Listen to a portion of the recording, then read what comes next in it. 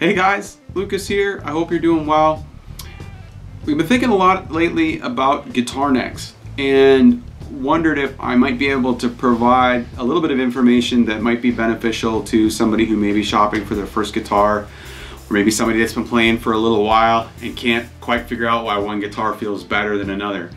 So over the years, I've obviously played a lot of different guitars. I've been playing for over 35 years. I've taught for, for, for quite a while. Um, I've written jingles and done some session work and things like that as well. So I haven't, uh, I, you know, I've done quite a few things. I haven't played all the guitars, but I've play, played quite a few. And I found early on when I was first starting, I never really got any information on on the neck. I was never really educated about some of these things and so I, I, struggled to understand why one guitar felt great and I struggled with the other one so hopefully this is a benefit to you um, so the first spec that I would mention is the scale length. So the scale length is basically the distance between the nut of the guitar and the bridge. And that can vary depending on the model or the manufacturer uh, uh, of the guitar. Typically Gibsons are 24 and 3 quarter inches between those two points. Uh, Fender Telecasters, Fender Stratocasters are generally 25 and a half inches. I think PRS is 25. And of course, there are a few exceptions to that in, in, in, some of these manufacturers' lineups. Uh, but, but those are kind of the most common ones that you're going to find. The reason that scale length is important is because it can affect the feel of the guitar when you play it. Uh, for example, uh, if you put the same gauge of strings on a Gibson Les Paul, for example, and on a Stratocaster, they're going to feel pretty different. And the reason for that is that there's greater string tension uh, on the on the longer scale length guitar than on the shorter one. So a 9 to 42 gauge string here is going to feel pretty slinky. Uh, you know, while it's, it's slinky anyway, but it's going to feel more so than it would on the Stratocaster. So the scale length can affect the feel. Uh, also, too, the distance between the frets um, changes a little bit too. So if you're doing a lot of that th three note per string stuff, um, it, it, may be more comfortable to get those stretches in uh, on a neck where the um, frets are just that much closer together. So scale length is pretty important in the overall feel of an instrument. The next thing I would talk about is fingerboard radius. So typically when we talk about fingerboard radius, you know, it's defined as a number uh, and, it's, and it's based on the circumference of a circle. So on a vintage uh, Fender, Fender like my Stratocaster here, uh, that guy has a seven and a quarter inch radius. So if we drew uh, a seven and a quarter inch uh, a, scale, uh, circle, that curvature becomes the curve on the fingerboard. And it's, it's fairly round. And, and, and some people will say that the challenge with that is that, you know, as you go to bend a string upwards, you know, you bend your note, uh, what happens is you run into the curve of the of the shape of the fingerboard and the note will choke out. So you have to have your strings higher in order to be able to do that. Um, I have my action pretty low actually on this this Stratocaster and generally don't have that kind of a problem, but I can't get it as low as I can get it on my Gibson. And so you know the the the action or or the the distance between the the string and the fingerboard has an impact on the playability as well. You know, you have less time required to actually uh, fret the note and, and, and less strength required to kind of push down on it. So there, there is some, some logic to why a flatter radius might feel easier to play than a more vintage radius if you're doing lead work. Some folks will argue that a rounder radius is more comfortable for playing chords and I think there's some truth to that as well. The compromise is a compound radius, which is what you would find on something like a, a Warmoth guitar neck, for example. They'll start the fingerboard radius at a 10 uh, down here, which is still pretty flat. That's actually flatter than most modern Fender Telecasters and Stratocasters are actually usually a nine, uh, a nine and a half. So you have a seven and a quarter inch on a vintage, all right, which is going to be kind of like this. then, then excuse me, um, a nine and a half inch radius on the modern stuff 12 inch radius is, you'll find some fenders that have a 12 inch radius, although I don't know how common it is, but you will find them. And also uh, 12 inch radius on the Gibsons. The uh, shred guitars that you tend to find, you know, I have a 1992 Ibanez RG sitting in the corner over the RG 550 from Japan. I mean, it's almost flat. It's I think it's a 16 or 15 and some some odd inch radius, uh, nearly 16 inches. So it's quite flat. But again, it, the whole point on that guitar is to be able to be as playable as possible, so we can do all that legato and fast runs and all that kind of good stuff.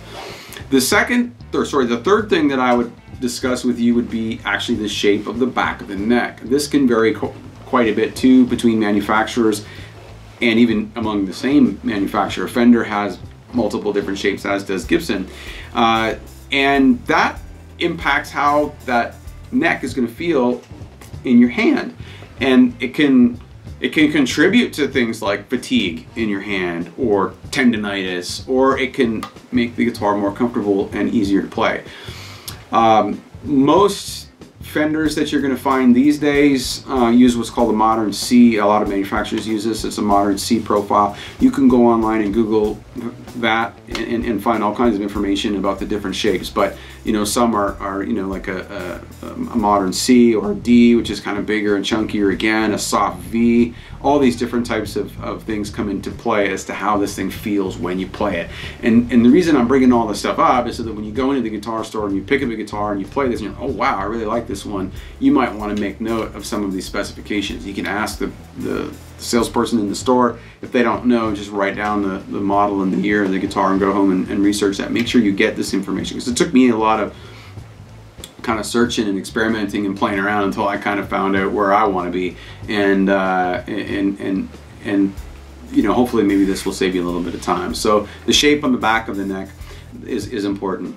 The the other thing too is going to be the fingerboard material, whatever is used on the fingerboard. Typically, uh, you know, it was really common to either have, you know, maple like what we've got here, which actually like quite a bit. In the early days, I wasn't crazy about it, but now that I have it, I, I quite like it. Um, uh, my preference, though, uh, is rosewood, which is on my um, my telly here, and this is this is. Um, uh, Indian rosewood, it's very difficult. It's getting more difficult to get rosewood these days. Um, Brazilian rosewood is the stuff that you would find on the old, really vintage uh, instruments, but because of environmental reasons, it's difficult to find anymore.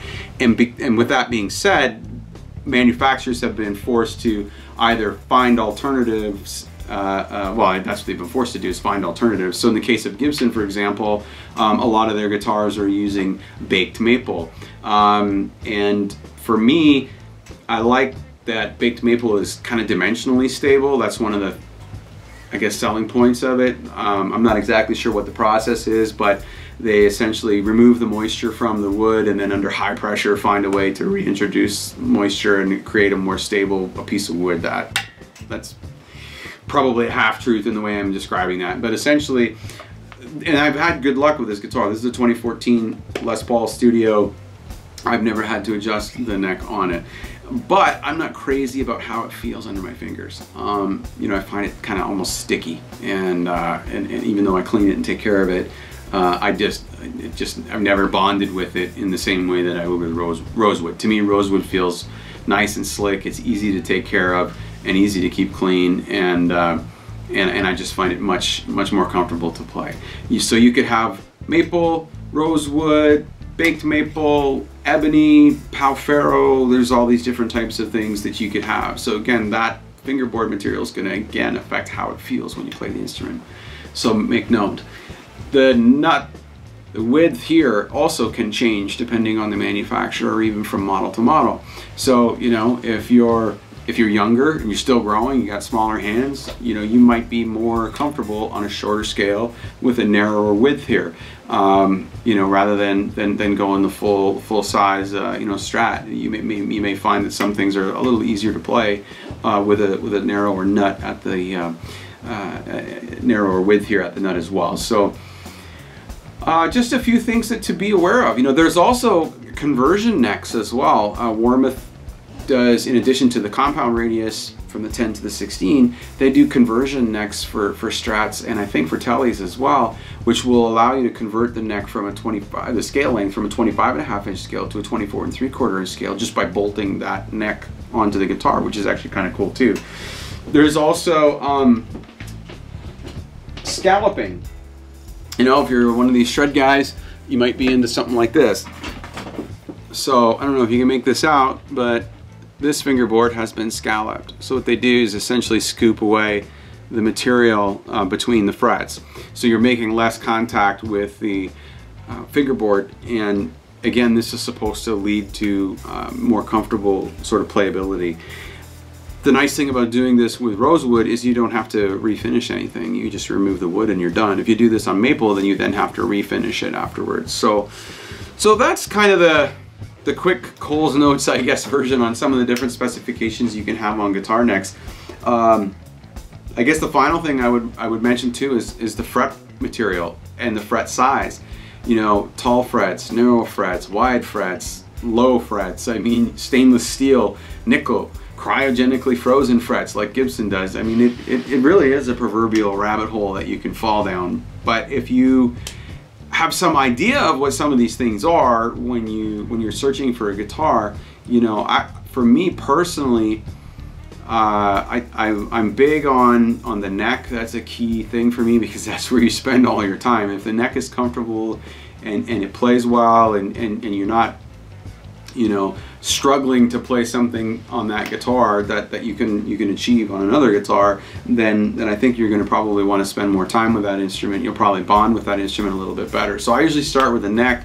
Then from there I look at the, the, the, the tone wood. I, I like alder personally. It's lightweight and, and all those traditional, you know, sort of single coil tones that you would get out of a Strat or a Tele can be found with, with Alder. Um, but that's based on the personal preference and the style of music that I play. A lot of funk and blues and that kind of stuff. So, so hopefully that helps. So scale length, fingerboard radius, the shape or the contour of the neck, um, the fingerboard material, the width of the nut, and the actual frets themselves. All of these things come into play to come together to um, create your experience on the instrument. If you have a little bit of knowledge about those things, and hopefully you'll spend less time seeking that out and, and more time playing. So hopefully this has been of some help for you.